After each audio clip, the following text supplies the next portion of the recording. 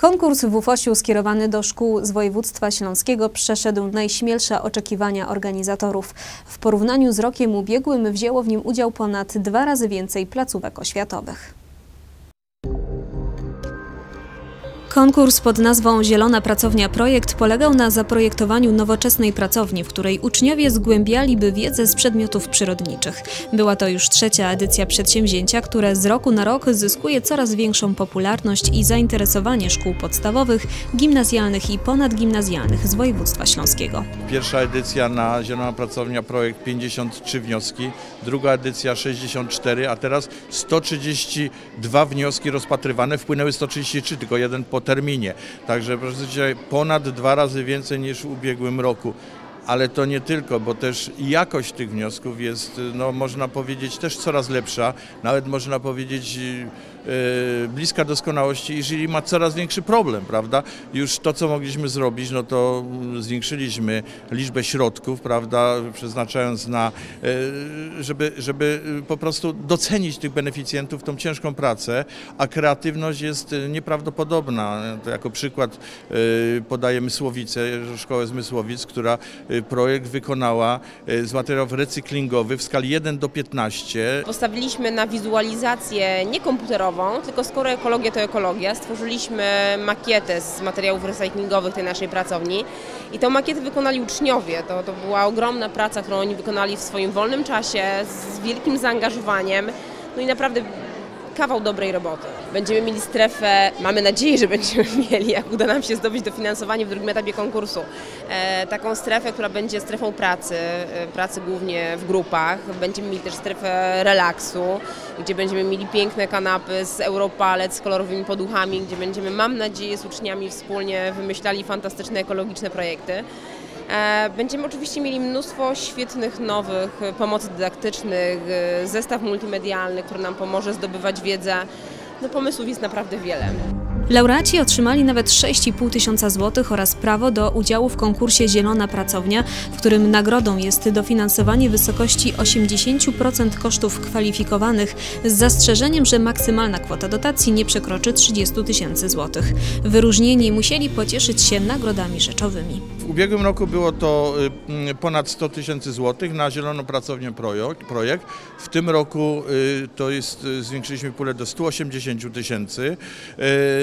No niestety musieliśmy troszeczkę zweryfikować regulamin, żeby zaspokoić no, więcej dobrych, bardzo dobrych projektów, więc obniżyliśmy tą kwotę 20%, nie więcej niż 6,5 tysiąca. Miało być 7,5 tysiąca, ale dzięki temu kilka szkół mogło mogło dodatkowo zostać laureatem. E, tak samo e, tych, którzy no, mieli bardzo dobre projekty, a nie zmieścili się w tej finałowej, powiedzmy sobie, czołówce e, laureatów, no, mają coś w formie nagród pocieszenia. Są to też sprzęty multimedialne, ale tak mówię, będzie jeszcze szansa w, e, złożyć projekt już w rozpoczętym konkursie Zielona Pracownia, e, jeżeli tylko samorząd dołoży te 20%.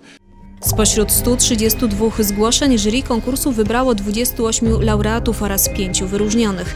Było to bardzo trudne zadanie, biorąc pod uwagę fakt, że poziom konkursu wzrasta z edycji na edycję. Myśmy bardzo długo obradowali, żeby porównać je, żeby wytypować te najlepsze, biorąc pod uwagę właśnie no, pomysł, innowacyjność, estetykę wykonania, koszt pracowni i adekwatność działań do adresatów.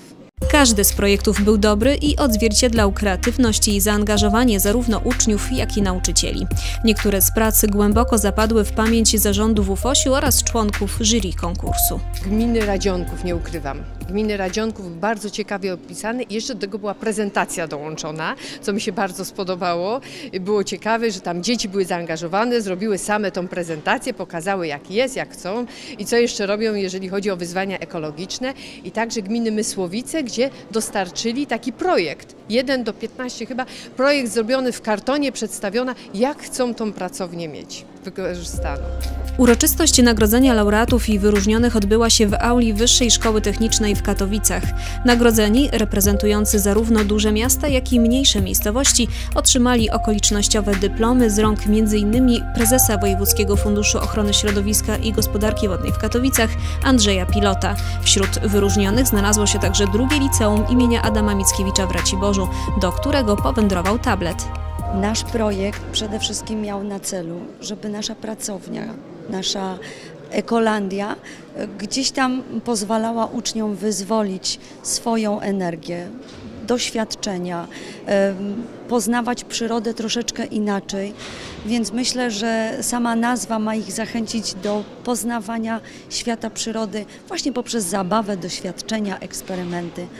Tak więc takie było nasze główne założenie. W naszej pracowni będą oczywiście stanowiska do badania środowiska, będą mm, miejsca do y, badania powietrza, gleby, poznawania świata, czyli też takie elementy geograficzne, więc połączyliśmy w ramach wchodzącej nowej reformy, żeby i przyrody było troszeczkę dla tych młodszych dzieci, a później geografii, która będzie później w starszych klasach. Będzie się lepiej uczyć, będzie tablica interaktywna, będą nowocześniejsze rzeczy. Będzie lepiej. A ty lubisz się uczyć przyrody? Oczywiście, że lubię, wiadomo, jeśli będzie, powstanie ten projekt, to na pewno będzie nam wszystkim łatwiej się uczyć. Czy ta nauka będzie przyjemna w takiej sali kolorowej? Na pewno będzie przyjemna, będzie się miło uczyć i będziemy razem wspólnie i miło spędzać czas. A jak teraz ta pracownia wygląda?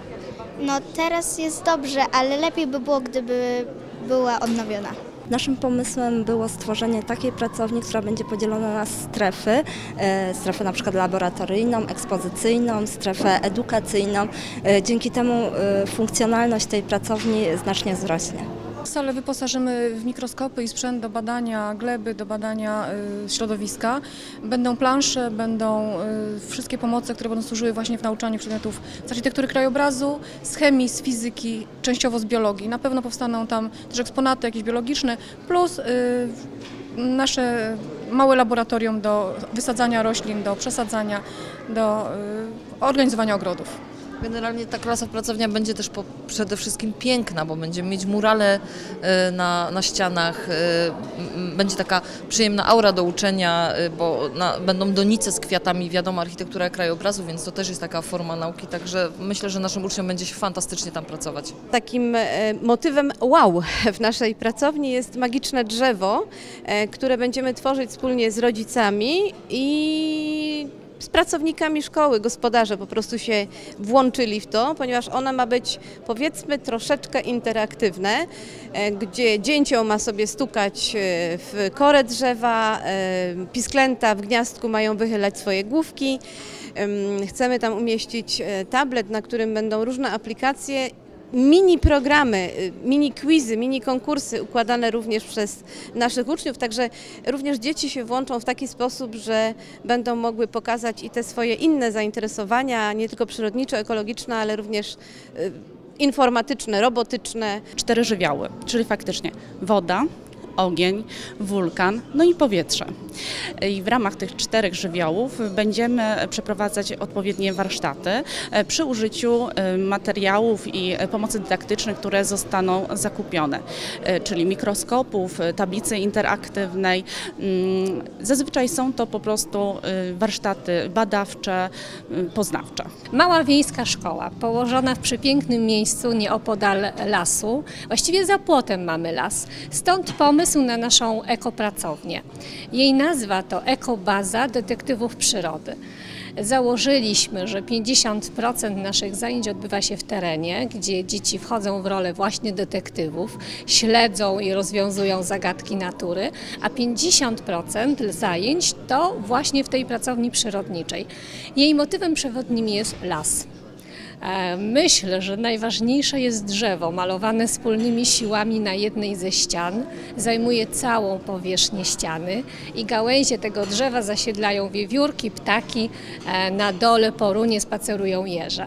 Są inne elementy leśne w pracowni, bo to hodowla mrówek, to półki, które przypominają drzewa, to wreszcie gabloty z runem leśnym zawieszone na ścianie. Jak widać, wyobraźnia laureatów nie zna granic, dzięki czemu uczniowie już nie mogą się doczekać lekcji przyrody, geografii czy biologii w nowych, pięknie urządzonych klasach. Przypomnijmy, w 2016 i 2017 roku Wojewódzki Fundusz Ochrony Środowiska i Gospodarki Wodnej w Katowicach w dotychczasowych konkursach przeznaczył ponad 2 miliony złotych na uhonorowanie zgłoszonych projektów oraz ich realizację.